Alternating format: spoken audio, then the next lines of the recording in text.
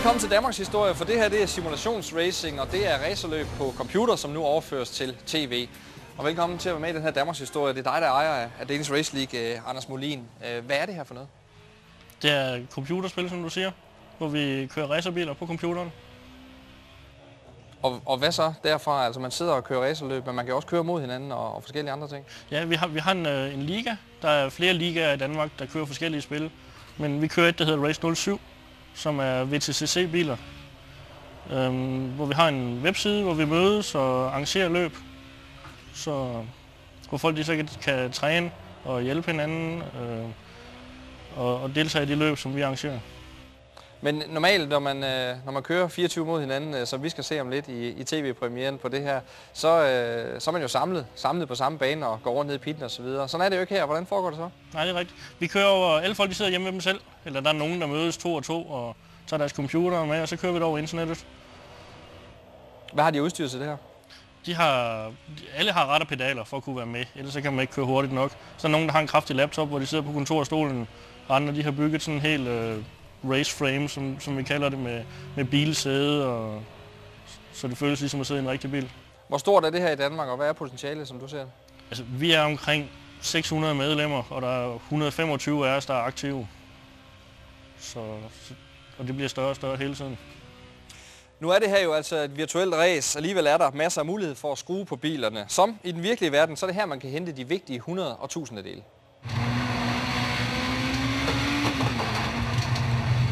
Alle de ting, som vi arbejder med på, på vores racerbiler i det daglige, øh, er rent faktisk også øh, i computerspillet her. Men i modsætning til værkstedsteltet er skruenøgler, dundkrafter og kalibreringsudstyr nu udskiftet med et stykke universalværktøj, en mus. Jeg tror, at mekanikerne de er ufattelig misundelige på, at der rent faktisk ikke skal mere til end et par klik på musen. Det tror jeg godt, de kunne, kunne glæde sig lidt over, hvis det bare var sådan i det virkelige liv. Men øh, hver ting sin charme, er det ikke sådan, man siger? Hvad hedder den? Den hedder 722 i etteren. Den skal rigtig langt fremad. Åh oh, ja, well, det er langt. Vi har anti-roll bar, som er kræningsstabilisator foran, dæktryk, vi fjeder, camber og caster. Det er med til at styre din temperatur. Så hvis vi tager bagenden af bilen, der har vi vingen. Sådan kunne Martin Jensen ellers blive ved med at fortælle, for han er vild med teknik og opsætning. Det betyder alfa og omega. Jeg vil gå, jeg vil gå kold i et spil, hvor jeg ikke kunne pille ruder og arve ved, ved støddæmper, fjeder, øh, gearing. Øh, det er en del af, af den charme, som, som jeg kan lide, specielt ved det her spil. Og der er en god grund til, at han kan lide det. De rette klik med musen giver straks fart på skærmen. Man finder ikke 5, 10 og 15 sekunder. Man finder øh, mere det i at have en følelse af, at man kan manøvrere med den her bil rundt på banen. Og selvfølgelig øh, er der jo måske, hvad ved jeg, et halvt sekund i, i, i bilens opsætning, men jeg tror helt klart mere, at det er følelsen af, at bilen den kører skide godt til den kørestil, man nu har anlagt. Så lige før vi skal se de her to heats. Øh, Anders, hvad er det for nogle kører, vi skal se?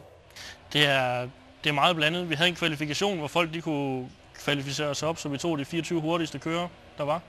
Og det er meget forskelligt. Vi har Martin, vi lige har set Martin Jensen, DTC-kører, og Kasper, Kasper Jensen er med også som DTC-kører. Vi har folk, der aldrig nogensinde har set en racerbil i virkeligheden, men som bare har et utroligt talent at sidde og køre med. Og det er folk lige fra 16 år til, jeg tror den ældste, han er omkring 50, der kører med i det løb her. Og det var ret specielt, fordi øh, som du sagde før, altså, folk sidder forskellige steder i, i landet og kan sidde lige præcis, øh, hvor de nu har, har lyst til at sidde, mens de spiller det her, og så mødes på forskellige niveauer. Altså, det giver vel en eller anden øh, fascinerende blanding.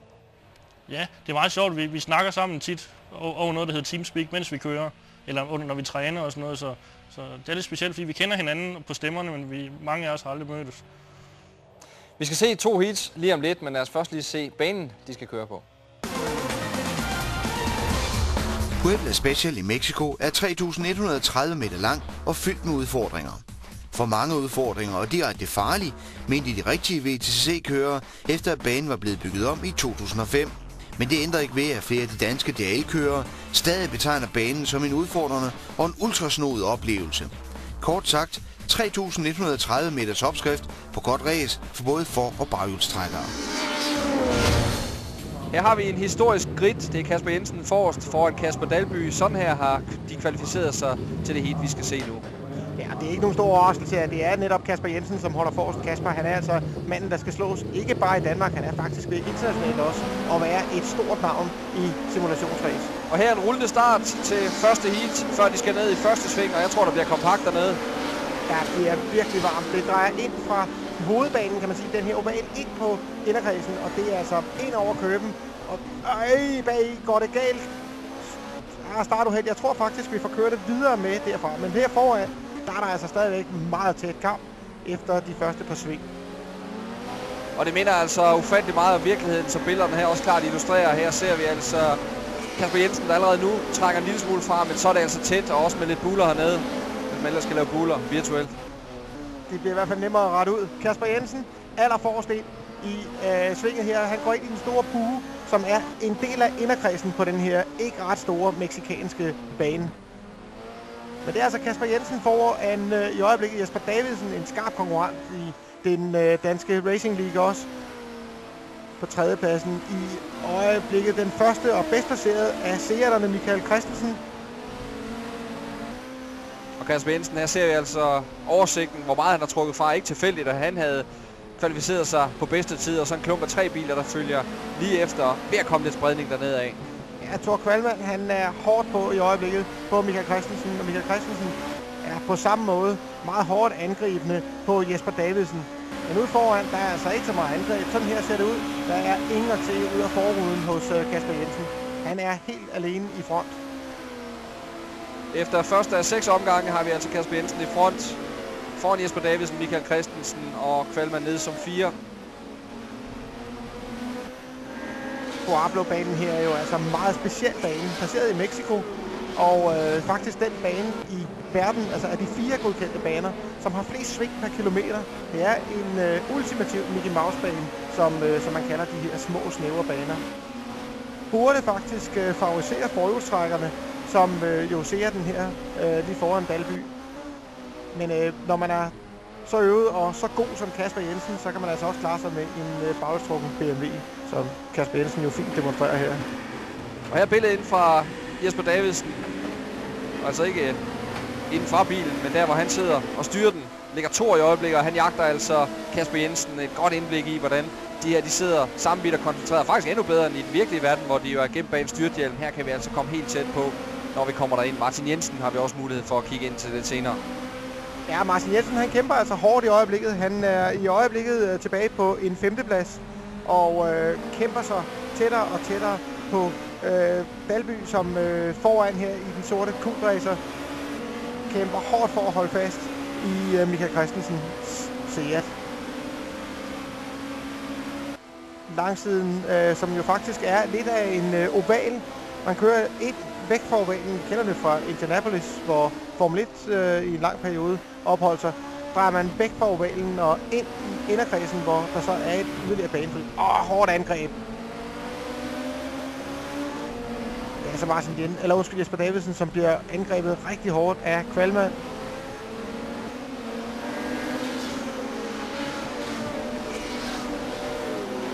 Altså Michael Christensen nærmest op på ryggen, imens Kvalmand, øh, imens han er i gang med at angribe Davidsen. Og ved at tegne sig et klart billede af, hvem der skal kæmpe om sejren. Kasper Jensen er altså ude i front, men så er der ved at danne sig en gruppe hernede. Stor, stor fejl Jesper Davidsen, og den bliver altså udnyttet om det af Thor Kvalmand. Davidsen simpelthen for langt frem, fik ikke styret ind. Og prøver at komme tilbage. Åh, det bliver tæt. Kasper Jensen, han er ikke tæt på noget som helst andet end at vinde. Men det her er tæt. Jesper Davidsen, åh, der var lidt berøring der. Kvalmand får lige prik, og, Og det Kvalmand er væk. koster bare. Og hvem udnytter det? Ja, hvor det godt. Martin Jensen, han er velkommen. Tak for den, siger Martin Jensen. Og så prikker han ham helt ud. Og så tror jeg, der er udsolgt hos uh, Kvalmand, i hvert fald for en topplacering. Det er over. Kasper Jensen stadig med god udsigt. Det eneste, der kan forstyrre den udsigt, det er, hvis han skulle komme op til nogle af de bagerste. Men her helt frit udsyn. Han er altså, ja, så langt over rækker alene, Jasper Jensen. Jesper Davidsen stadigvæk på andenpladsen, udnyttede jo selvfølgelig chancen for at komme tilbage igen, da Thor Kvalmand, han øh, blev hjulpet en lille smule, men øh, i hvert fald røg væk fra banen. Her var Martin Jensen. Prøv lige at se koncentrationen her. Åh, oh, han kæmper. Han skal op til Michael Christensen. Gode billeder det her. Han kører, der normalt sidder gemt lidt bedre væk i sin DTC Racer. Men her altså har blottet sig, så vi kan se præcis, hvad der foregår i ansigtet. Og det er altså samme koncentration, det er samme input, det er samme styreoplevelser, som, øh, som når Kasper, øh, Kasper Jensen eller øh, Martin Jensen sidder i deres rigtige racerbiler, at der udnyttes her. Det er nøjagtigt de samme informationer, som øh, øjet og hænderne de arbejder sammen om. Stille og rolige retbevægelser fra Kasper Jensen. Det tyder altså på, at den her bils opsætning, den er ramt lige præcis. Han har rigtig godt fat i, øh, i de her små bitte snævre sving inde i inderkredsen af Pueblo-banen. Også billedet her, der fortæller øh, meget bedre, hvad for eksempel Kasper Jensen kan se, når han sidder og styrer den her bil. Martin Jensen og Jesper Davidsen også. De øh, billeder, vi for eksempel får oversigtsbilleder, det er ikke nogen, som man kan se, når man sidder og styrer bilerne. Så det giver altså også et indblik i, hvad det er, der foregår præcis i hovedet på dem. Sådan der, Jensen ind over startstregen, og så er vi tilbage og ser her. Ah, Jensen, han vil bare gerne have det mere fart. Mangler stadigvæk et lille stykke for at kunne fange Michael Christensen. Det hjælper måske at hoppe lidt i stolen, jeg ved det ikke. Han prøver i hvert fald. Det er Michael Christensen, det er Martin Jensen. Og så er han faktisk lige ved at få Kenneth Worm op øh, bagved der, tror jeg, Jimmy. Og det vil altså sige, at der er samlet et felt på 3-4 biler, som ligger efter Kasper Jensen. Nogle af dem tættere end andre, men de ligger sådan og danner en hale efter Kasper Jensen, som altså ligger ude foran. Så vi er tilbage omkring. Bo Salling i Seat, som er altså tilbage omkring 10. 12. pladsen, øh, han ligger og kæmper om. Sene indbremsninger, det giver altså lidt røg og en kejl ud på banen. Og han har altså stille og roligt fået spolet Michael Christensen ind nu, Martin Jensen. Han er faktisk ved at være oppe, hvor, øh, hvor jeg tror, vi skal forvente et angreb. Der skærer han svinget, kommer hurtigere ind i det næste sving, og så er han helt tæt op under Michael Christensen på afgangen af højre svinget. Ikke helt plads nok til ham. Michael Christensen afviser fortsat Martin Jensen. Han gør det altså godt, kører defensivt, øh, Michael Christensen, men ikke sådan, så han er inde og kører snuden af Martin Jensen. Det giver ham bare lidt mere arbejde. Herude på ovalen igen, der kan det altså godt gavne Martin Jensen og ligge en lille smule i skyggen inde bag ved Michael Christensen. Der stak de to over stregen. Han var helt tæt op under Martin Jensen. Og det er altså med en omgang tilbage. Der kommer de to. Martin Jensen på ydersiden nu ind i venstre kurve. Og I kan også se, Kenneth Worm er ved at få kontakt, så de ligger altså på pladserne 4, 5, 6, 3 biler meget tæt. Og Kenneth Worm, han er altså den bedst placerede af Chevrolet-bilerne indtil videre. Og her foran, jamen, der er altså ikke ret meget at komme efter. Der står golf på frontklappen. Det kunne han snart lige så godt tage ud og spille. Han har ikke nogen at køre imod i hvert fald, Kasper Jensen. Og der var lige trioen, og det er faktisk øh, efterhånden som om, de også er ved at blive øh, samlet en lille smule op af Alex øh, Frederiksen, som er syver i øjeblikket. Angreb igen. Jensen kæmper bag ved Michael Christensen.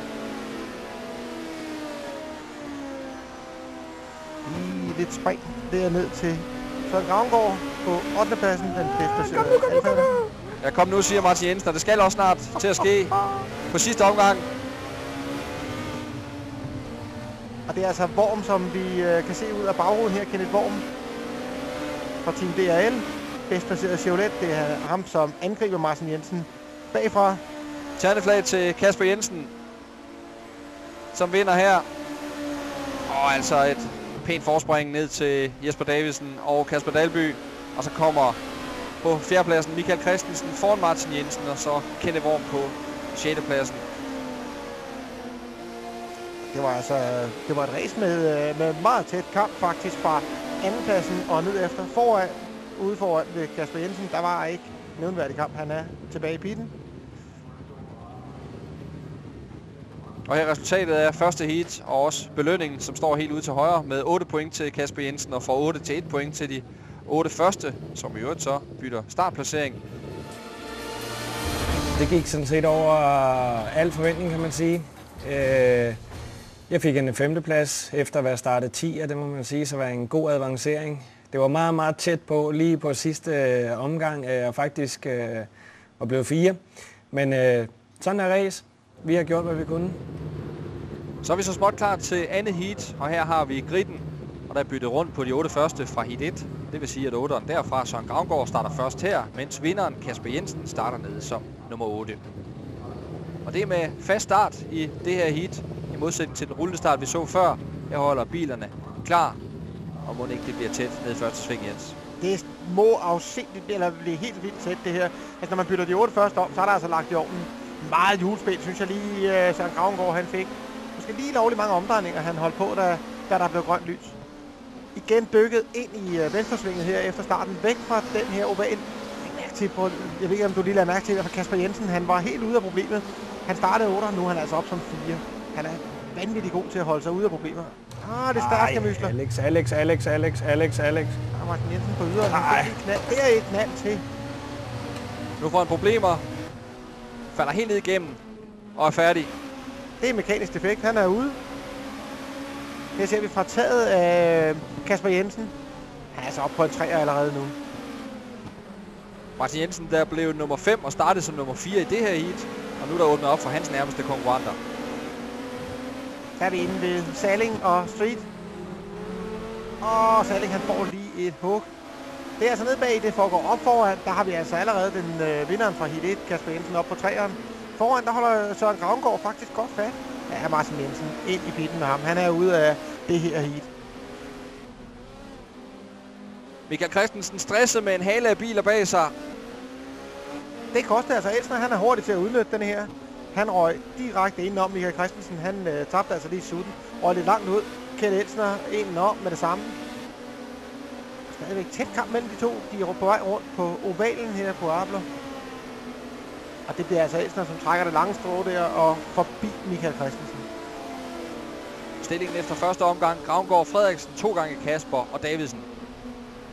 Åh, det koster, det koster, det koster.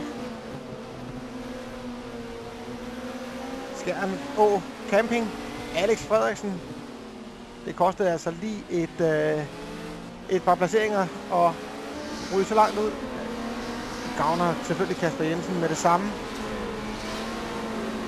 Kasper Jensen op på andenpladsen, og med den øh, præstation, vi så ham ude i Heat 1, så tror jeg altså ikke, Jimmy, at det bliver noget stort problem at få Europa af førstepladsen. Har 8 point med for sejren og har allerede nu lagt sig godt til. Her er vi inde hos Kjeld Elsner. Og han bliver presset nu. Han vi så ham køre forbi på langsiden lige før, da han overhalede Michael Christensen. Og Christensen, han har altså ikke helt opgivet ævret endnu. Han hænger rigtig godt fast om bagved. Og det er usædvanligt at se en bil ud af forruden på Kasper Jensens racer. Ja, det er han ikke vant til. Men her er altså en enkelt derude. Kommer han forbi? Kommer han, han er indvendig nu på Gravengård. Nej, Gravengård han holder sig altså lige nøjagtigt i live på yderen ind foran øh, Kasper Jensen. Og jeg tror, at Kasper Jensen han er helt i kontrol her. Jeg tror altså, det er ham, der styrer tempoet. Han ved nøjagtigt, hvad der skal til. Og vil selvfølgelig ikke risikere noget ved at foretage en tosset overhældning. Det er nok spørgsmål om tid, før han prøver. Måske allerede her kommer han. Ja, men en drømmeudbremsning. Graven går lidt langt frem, prøver på at forsvare sin linje, bremser sent, men bare slet ikke sent nok til Kasper Jensen. Han røg lige forbi. Gravengård og Jensen har byttet plads, så han skal nok blive ved med at kigge tilbage. Gravengård. Frederiksen, han er altså meget tæt på efterhånden. Det er Alex Frederiksen, og så er det Dalby. Jesper Davidsen er der også. Kan både se Dalby på fjerdepladsen og Frederiksen, der er træer.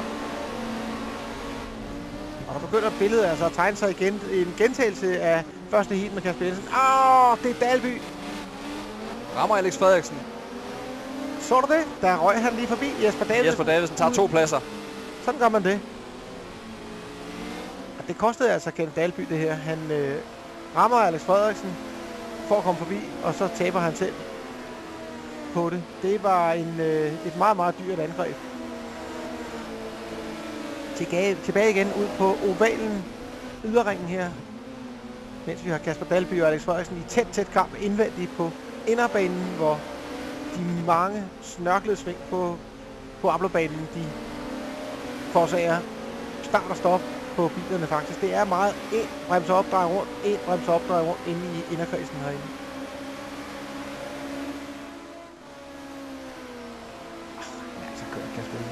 er godt på vej mod nye toppoint. Men jeg synes faktisk også, at øh, Søren Gravengård, han holder godt fast i sin øh, topplacering. Startede jo altså etter, fordi man vinder de første otte op. Og øh, indtil nu er han stadigvæk to af Søren Gravengård. Han er godt nok under pres i sin alfa. Men øh, jeg synes, at øh, han har da i hvert fald udnyttet den chance, han har fået ved at starte forrest. Ganske flot. Vi fik lige kigge hos Kette Worm på 8. pladsen. Han kan kigge op til Mika Christensen, Elsen og Frederiksen, Dalby-gruppen.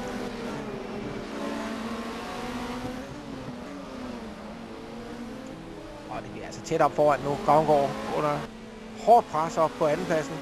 Michael Christensen, han kæmper bare stadigvæk. Elsen og Christensen, det er sådan en øh, vedvarende kamp, der faktisk har stået på lige siden anden omgang.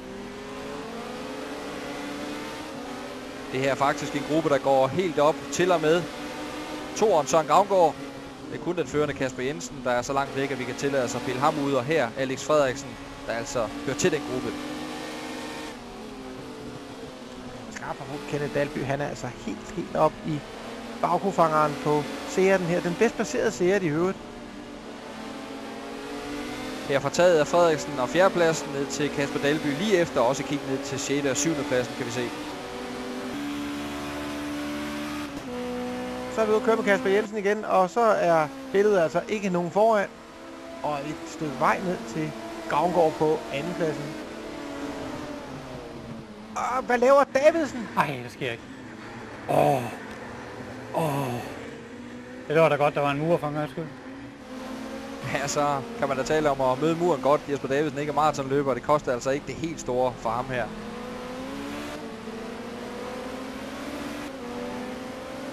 Ja, det var en kærkommen lejlighed, tror jeg, til Alex Frederiksen, det der, men øh, stadigvæk, så skal han altså også arbejde lidt for at nå op til Davidsen.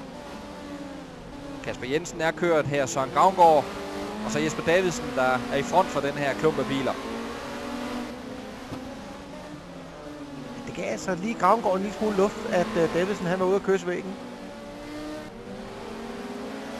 Ikke ren campingferie for Frederiksen. Skal altså kigge bagud. Dalby er den nærmeste forfølger, men der er flere. Dalby han er lidt i elastik øh, om bag. Fedt oversigtsbillede her. Og der er så lang afstand op til Kasper Jensen, når man ser det fra luften. Åh, Elsner indvendigt på Dalby, og jeg tror lige, det gav ham det lille stød, han fik givet Kasper Dalby, eller Kasper Dalby her. Det giver altså, øh, det giver lige nok den luft. Nej, banen drejer den anden vej. Det er, det er altså super kamp imellem de to her. Elsner indvendigt under Dalby. Nej, det er langside. Og Elster kommer forbi her, hvor de kører ud på sidste omgang af det uofficielle danske mesterskab. Og det er altså tv-historie, det her. Alex Frederiksen, han lurer lidt om øh, fremme, og Michael Christensen er også med i serien. Det er en, øh, en fin blanding af bilmærkerne her også i, i klumpen. Kongård, Davidsen, Frederiksen. Frederiksen stadigvæk klar til at overtage efter Jesper Davidsen, hvis det skulle byde sig. Dejlig udsigt inden for Kasper Jensen kan kigge frem mod den uofficielle titel som Danmarksmester. Og det er altså tydeligt bevist over nu næsten to hele heats. 12 omgange i alt med Kasper Jensen som den klart hurtigste mand i feltet her.